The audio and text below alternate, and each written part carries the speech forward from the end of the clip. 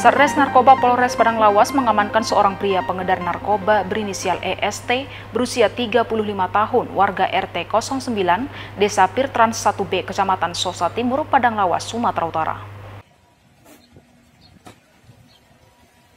Satres Narkoba Polres Padang Lawas mengamankan EST dengan barang bukti 1 gram narkotika jenis sabu.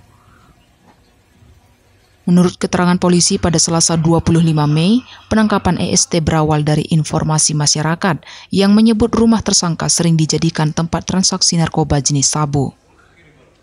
Berangkat dari informasi itu, polisi langsung melakukan pengintaian dan akhirnya menangkap tersangka. Selain mengamankan barang bukti berupa sabu, polisi juga mengamankan Rp33.000 uang tunai.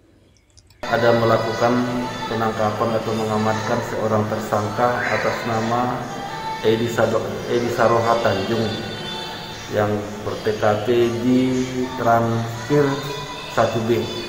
Kita amankan tersangka Edi Saroha dengan barang bukti satu paket sabu. Kita akan tetap melakukan pengembangan jaringan dari mana asal usul daripada barang harap yang ditemukan pada tersangka.